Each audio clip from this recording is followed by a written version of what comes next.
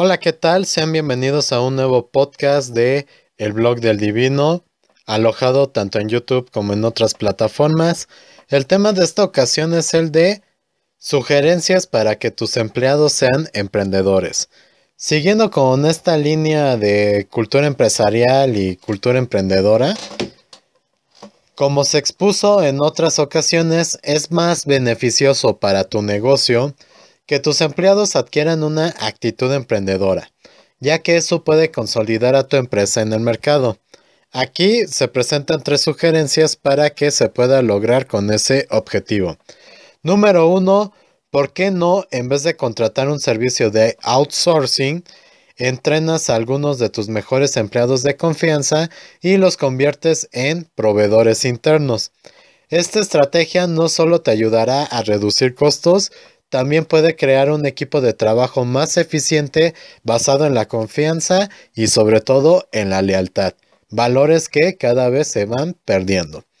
El otro objetivo es convocar a, o la otra estrategia es convocar a toda la empresa para que hagan planes de negocio acerca de las oportunidades que han observado con potencial en cada una de sus áreas apoya las propuestas más viables, promueve a los trabajadores hacia esas nuevas áreas y este formato te va a generar un estímulo constante para la creatividad de todos los implicados.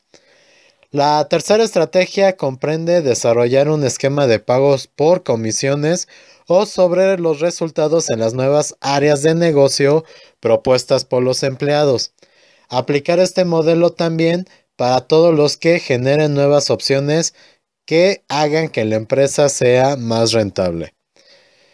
De acuerdo con los psicólogos industriales más renombrados, el aumento de salario solo satisface un interés de corto plazo en las personas. Sin embargo, el ser escuchados y poner en práctica sus ideas, así como conocer sus intereses a mediano y largo plazo, asegura a la empresa mejores empleados que a la vez sean empresarios, mejores empresas y mejores comunidades. Es decir, todo esto es un círculo virtuoso.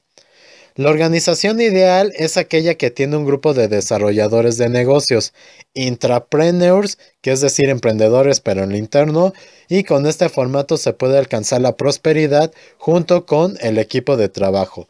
Muchas veces sí pueden chocar las personalidades, pero aquí la cuestión, y creo que suele pasar mucho, si tú tomas en cuenta la opinión de tus subalternos y los vas considerando como parte importante de tu empresa, poco a poco ellos te van a generar una confianza y lealtad que puede ayudar mucho para que tu propia empresa crezca, ellos se sientan más identificados con la misma y todos de la mano vayan prosperando y obteniendo mejores resultados.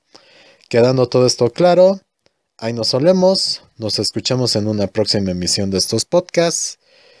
Sigan estos consejos, si les gustó pongan manita arriba, si no pongan manita abajo, orwa.